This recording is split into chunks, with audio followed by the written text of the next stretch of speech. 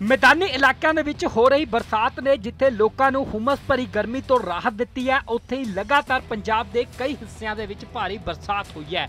ਜਿਸ ਦੇ ਕਾਰਨ ਸੜਕਾਂ ਦੇ ਉੱਤੇ ਪਾਣੀ ਇਕੱਠਾ ਹੋਇਆ ਅਤੇ ਪਾਣੀ ਇਕੱਠਾ ਹੋਣ ਦੇ ਨਾਲ ਜੋ ਲੋਕਾਂ ਦੇ ਵਾਹਨ ਨੇ, ਉਹ ਸੜਕਾਂ ਦੇ ਵਿੱਚ ਫਸੇ ਹੋਏ ਦਿਖਾਈ ਦਿੱਤੇ ਨੇ। ਤਾਂ ਇਹ ਤਸਵੀਰਾਂ ਪਟਿਆਲਾ ਤੋਂ ਸਾਹਮਣੇ ਆਈਆਂ ਨੇ, ਜਿੱਥੇ ਕਿ ਅੱਜ ਸਵੇਰੇ ਕਾਫੀ ਮੀਂਹ ਪਿਆ ਲਗਾਤਾਰ 2 ਘੰਟੇ ਦੀ ਬਰਸਾਤ ਨੇ ਸੜਕਾਂ ਦੇ ਉੱਤੇ ਪਾਣੀ ਖੜਾ ਕਰ ਦਿੱਤਾ ਜਿਸ ਦੇ ਕਾਰਨ ਕਈ ਵਾਹਨ ਪਾਣੀ ਦੇ ਵਿੱਚ ਫਸੇ ਦਿਖਾਈ ਦਿੱਤੇ ਨੇ। ਹਾਲਾਂਕਿ ਮੌਕੇ ਦੇ ਉੱਤੇ ਲੋਕਾਂ ਦੀ ਮਦਦ ਦੇ ਨਾਲ ਇਹਨਾਂ ਵਾਹਨਾਂ ਨੂੰ ਕੱਢਿਆ ਗਿਆ ਤਾਂ ਦੱਸ ਦਈਏ ਕਿ ਮੌਸਮ ਵਿਭਾਗ ਦੇ ਅਨੁਸਾਰ ਅਗਲੇ 2 ਦਿਨਾਂ ਦੇ ਲਈ ਰੈੱਡ ਅਲਰਟ ਜੋ ਹੈ ਬਾਰਿਸ਼ ਦਾ ਜਾਰੀ ਕਰ ਦਿੱਤਾ ਗਿਆ ਪੰਜਾਬ ਦੇ ਨਾਲ ਨਾਲ ਜੇਕਰ ਗੱਲ ਕੀਤੀ ਜਾਵੇ ਹਰਿਆਣਾ ਅਤੇ ਚੰਡੀਗੜ੍ਹ ਦੀ, ਤਾਂ ਚੰਡੀਗੜ੍ਹ ਦੇ ਵਿੱਚ ਵੀ ਕਈ ਥਾਵਾਂ ਦੇ ਉੱਤੇ ਭਾਰੀ ਬਰਸਾਤ ਹੋਈ ਹੈ। ਸੜਕਾਂ ਦੇ ਉੱਤੇ ਪਾਣੀ ਜਮ੍ਹਾਂ ਹੋਇਆ ਹੈ ਤੇ ਹਰਿਆਣਾ ਦੀ ਜੇਕਰ ਗੱਲ ਕੀਤੀ ਜਾਵੇ, ਤਾਂ ਅੰਬਾਲਾ ਤੋਂ ਕੁਝ ਤਸਵੀਰਾਂ ਜ਼ਰੂਰ ਸਾਹਮਣੇ ਆਈਆਂ ਸੀ, ਜਿੱਥੇ ਕਿ ਸੜਕਾਂ ਦੇ ਉੱਤੇ ਪਾਣੀ ਲੱਗ ਚੁੱਕਾ ਹੈ। ਲੋਕਾਂ ਨੂੰ ਕਾਫੀ ਦਿੱਕਤਾਂ ਦਾ ਸਾਹਮਣਾ ਕਰਨਾ ਪਿਆ ਹੈ। ਤਾਂ ਦੱਸ ਦਈਏ ਕਿ ਲਗਾਤਾਰ ਬਰਸਾਤ ਹੋ ਰਹੀ ਹੈ। ਦੋ ਦਿਨਾਂ ਤੋਂ ਰੁਕ ਰੁਕ ਕੇ, ਜਿਸ ਦੇ ਕਾਰਨ ਲੋਕਾਂ ਨੂੰ ਗਰਮੀ ਤੋਂ ਰਾਹਤ ਤਾਂ ਮਿਲੀ ਹੀ ਹੈ ਉੱਥੇ ਹੀ, ਪਰ ਕਾਫੀ ਦਿੱਕਤਾਂ ਵੀ ਆ ਰਹੀਆਂ ਨੇ, ਕਿਉਂਕਿ ਪਾਣੀ ਜੋ ਹੈ ਸੜਕਾਂ ਦੇ ਉੱਤੇ ਇਕੱਠਾ ਹੋ ਜਾ ਰਿਹਾ ਹੈ।